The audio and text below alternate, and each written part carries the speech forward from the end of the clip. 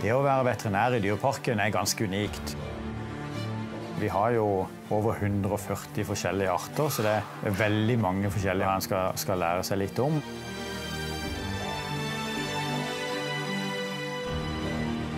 Så den store variasjonen gjør jo at eh, det ikke noen dager blir like. Rolf Arne er mannen dyrepasserne må sette sin lit til daglig. Dyrene må ha jevnlige helsesjekker. Han tar imot dyr som kommer til verden, og må si farvel til andre som ikke kan reddes. Dette er Rolf Arnes hverdag.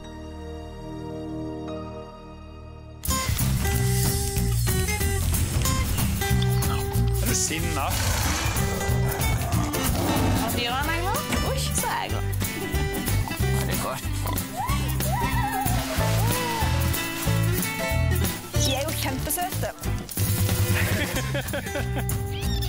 Sikrer dere han? Ja, flott. Det er godt å få kost med han. Jeg har ikke tenkt meg noe så fint.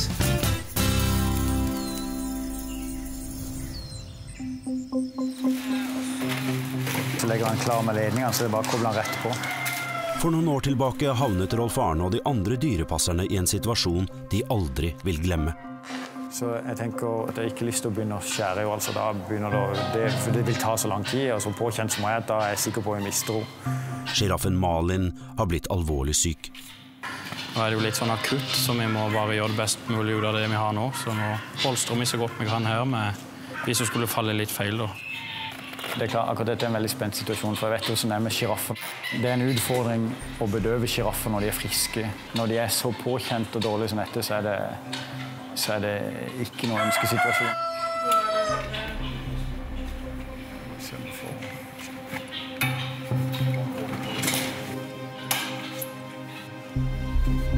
For at ikke Malin skal vingle rundt og skade seg selv, så setter Rolf Arne en ekstra bedøvelsespil.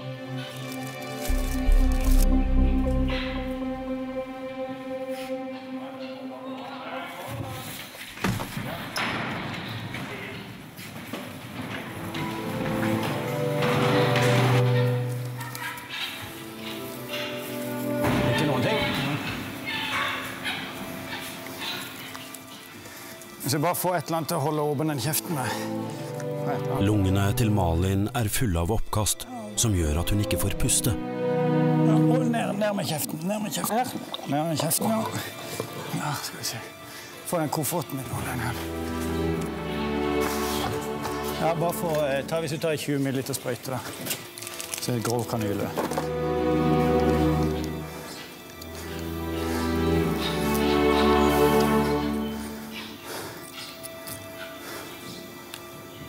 Kjørt, altså.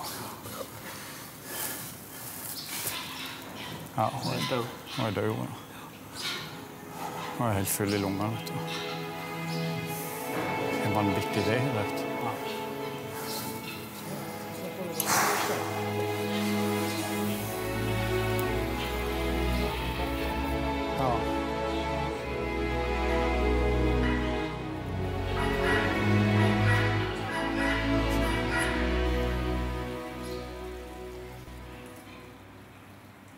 At en tragisk hendelse som dette skjedde er heldigvis ikke hverdagskost for Rolf Arne. Det vil i dag stå som en påminnelse for hva som kan skje. Alle disse utfordringene på godt og vondt er en av grunnene til at Rolf Arne ville bli veterinær. Jeg har eh, alltid vært interessert i dyr. Helt fra jeg var bitte liten. Og spesielt ville dyr og, naturen. Jeg har ville bli veterinær egentlig nesten så lenge jeg kan huske. En vanlig arbeidsdag i Dyreparken eh, varierer enormt. Så Noen dager så kan det være ganske stille og rolig, og andre dager så er det veldig travelt.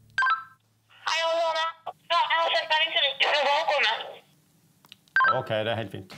Da skal vi, skal vi opp en tur i jungelen, og så eh, sjekke løvetamarin. Den hannen han har, eh, de føler han har blitt litt tynn i det siste. Så da skal vi ta og eh, bedøve han, og så gjøre en liten helsesjekk.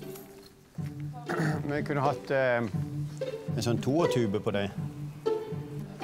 Ja. Oppe i jungelen så har vi jo eh, løvetamariner fra Sør-Amerika. Eh, Har eh, ganske mye til felles med andre tamariner, som vi kaller det. En sånn gruppe med småaper.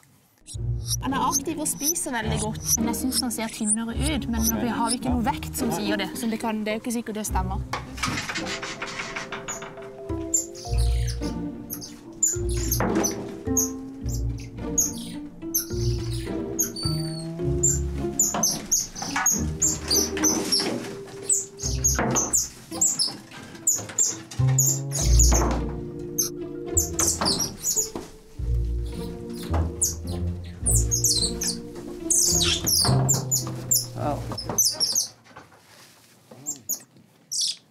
Er veldig annerledes enn en, eh, si, sånn som en jobber med, med, med tam- eller husdyr da, eller kjæledyr som er vant til å bli håndtert. Hele framgangsmåten eh, er litt annerledes, fordi som regel så blir jeg nødt til å bedøve dyrene her før jeg kan håndtere dem. Jeg tror nok jeg er en sånn et øyeblikk.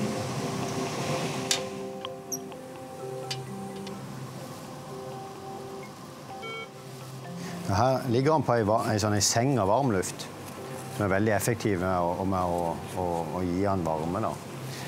Så skal jeg prøve å få tatt en blodprøve. En utfordring på smådyr er for det første er at det kan ikke ta så mye blod. Og så er det litt vanskelig av og til å finne blodåret.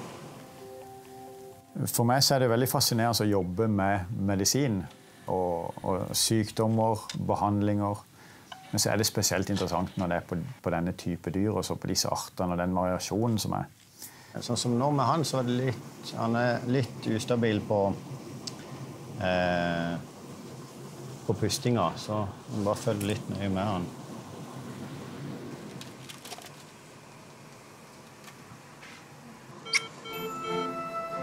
Det å ta helsesjekker er en daglig jobb for Rolf Arne. Ansvaret ligger ikke bare i bevarelse av dyrene i parken, men også artene på verdensbasis. Løvetamarinen er et godt eksempel på dette. Det var ganske kritisk for den apen for noen år siden. Det var bare noen få hundre igjen. Og så har dyreparkene i verden vært med å du si, eh, avle opp flere dyr og satt de ut igjen i naturen. Så dyreparkene har, har spilt en veldig viktig rolle på å være med å redde den arten fra å forsvinne for godt.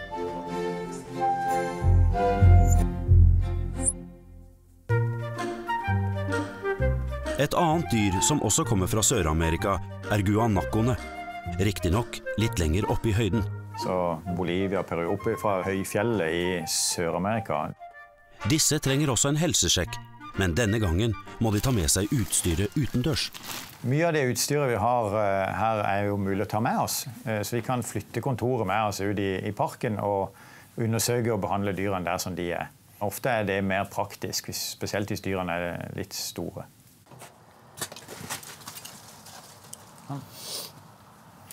Fint.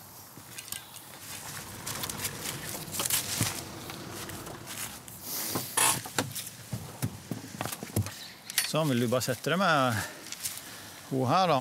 Ja, jeg tenkte jeg skulle bare sette inn utstyret. For alle dyrene så er vi veldig opptatt av å, når vi tar en helsesjekk, er å sjekke grundig på tennene. For de er ikke så lett, spesielt de tennene som ikke er synlige. Så, eh, så det, men det er viktig å følge med på de tennene òg, sånn at det ikke er noen noe problemer der. Så nå har jeg litt forskjellige sånne rasper. Dette er sånne rasper som er lagd for å file eller raspe hestetenner. De er ganske grove her, så jeg får eh, den, Disse jekslene her inne har ganske sånne spisse tapper som står opp, som kan bli problematisk etter hvert.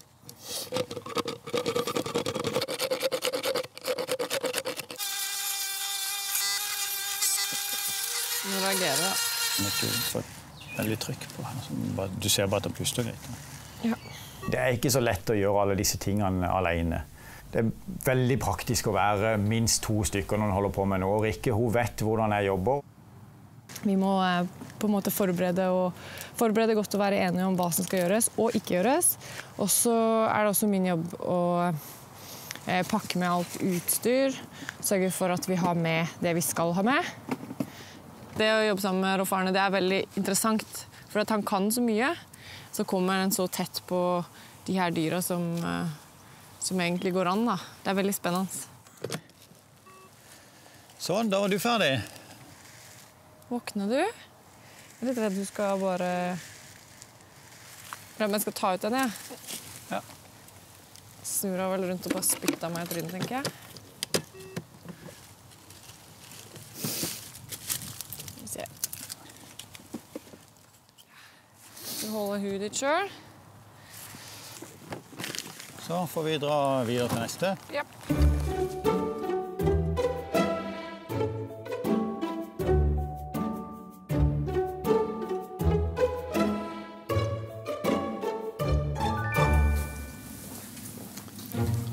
Tilbake på klinikken har det kommet inn et dyr som har kommet på uanmeldt besøk i parken. Du finner den inne i stallen, men de hadde bare plukka den opp. Og så var det noen skjærer som satt og erta på den. Ja. Kan finne på å bite meg litt i fingeren. Det er ikke så galt på de. Det som er litt skummelt på de, er, er klørne. Så de her, de, hvis de får tak, så låser de. Så hvis den setter seg i fingrene, så er det ikke så lett å få de av igjen. For ei ugle å leve i naturen, så må de være helt tipp topp. Kan ikke ha noen skader. Det, livet i naturen er såpass tøft at det må fungere helt optimalt for å klare det. Så at hvis, hvis jeg da har, har ødelagt noen klør eller, eller har, har et lite brist eller brudd, eller noe sånt, nå, så, så, så klarer de seg ikke der. Ja, For han var litt dehydrert, så nå har du gitt ham væske. Ja, litt Og så veide han. Og jeg har sjekka over han, og jeg kan ikke finne noe skade på han. Så den skal ut og, og fly igjen, som han har gjort hele tida. eh, Men det er jo eh, fantastisk fin, da. Så jeg satser på at det går fint. Nå er han så forskrekka nå at vi må bare se om han har lyst til å fly av gårde. OK?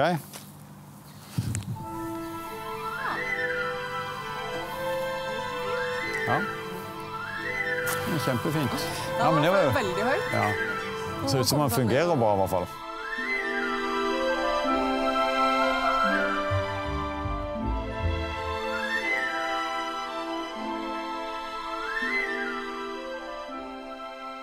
Hos gepardene har det dukket opp et problem.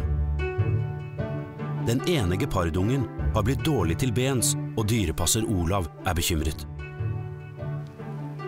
Jeg prøvde å følge med litt utover dagen, og det ser ikke ut som det blir noe bedre heller. Så jeg har ikke noen god følelse med å reise hjem i kveld og så tenke på den, eh, den ungen som har vondt i foten. altså. Så nå har jeg snakka med veterinærgjengen og vi skal prøve om vi kan få fanga inn den ene ungen. Olav er jo en utrolig flink eh, dyrepasser. Eh, han er jo veldig dedikert til eh, spesielt gepardene og, og løvene, som han jobber utrolig mye med. Godslig, altså. Alt med geparden er lagd si, for å løpe fort. En gepard du ser på hele kroppsbygninga er jo langstrakt og lange bein.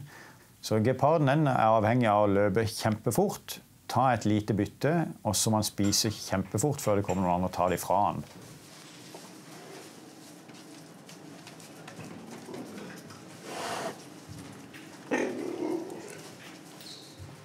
Å kunne løpe raskt og fange bytte er det gepardungene lærer av mor for tiden. Derfor er det viktig at alle er i god form. Nå, vi, nå går vi inn og så setter jeg en liten sprøyte på han ene bare så han sovner. Så vi kan få ta han ut og, og kikke på han. Gepardungene er fortsatt så små at det er trygt å gå inn til dem. Derfor slipper Rolf Arne å bruke bedøvelsesbil og kan sette sprøyten på en sikrere måte. går vi bare ut igjen.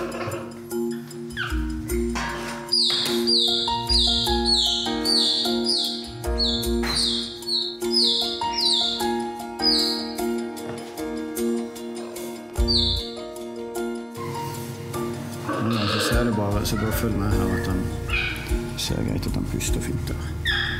Tar vi han med, så kjører vi han. Det kan eventuelt være at det er en brist eller noe sånt. nå. Ja.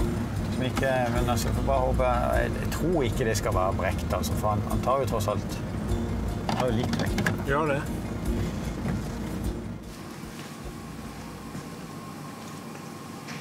Jeg, nå kjenner jeg bare etter om jeg kan kjenne noe som er unormalt, om han skulle være ute av Sånn som her er det om, om hofteleddet. Kan man kunne liksom få hofteleddet ut av et ledd?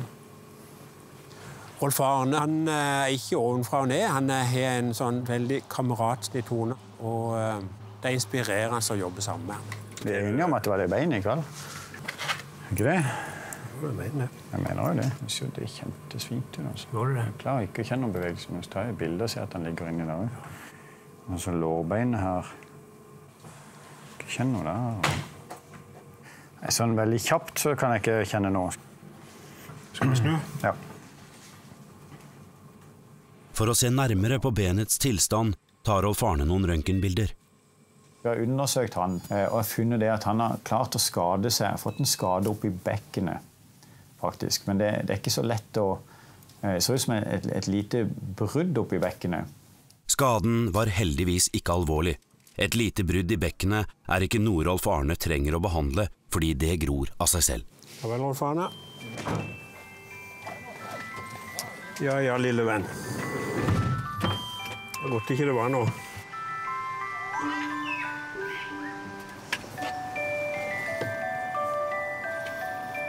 Puster greit, da. Det ser greit ut. Ja, så bra. Føles nesten som en skulle i- i barnedåp her nå. Der er mammaen og følger med. Ikke mani. Jeg må si jeg er glad for at ikke han fant noe galt. Han har jo fengt noe smertestillende, så det vil vel hjelpe bare det, tenker jeg. Når det først er som det er, så er det jo fantastisk å, å sitte her med en gepardunge. Nå blir det ikke så veldig mange sjanser til å holde deg sånn som det her er. Det er jo flott å se at eh, mottakelseskomiteen er klar her. Ja vel, lille venn. Nå er det godt, da. Ja, det var godt mamma kom inn der. Ja, det er fint å se. Rolig og fin. eh, Ja. Gepardungene er jo, er jo eh, utrolig sjarmører. De, de vokser fort nå, og de er, eh, de er jo overalt der og leker og herjer.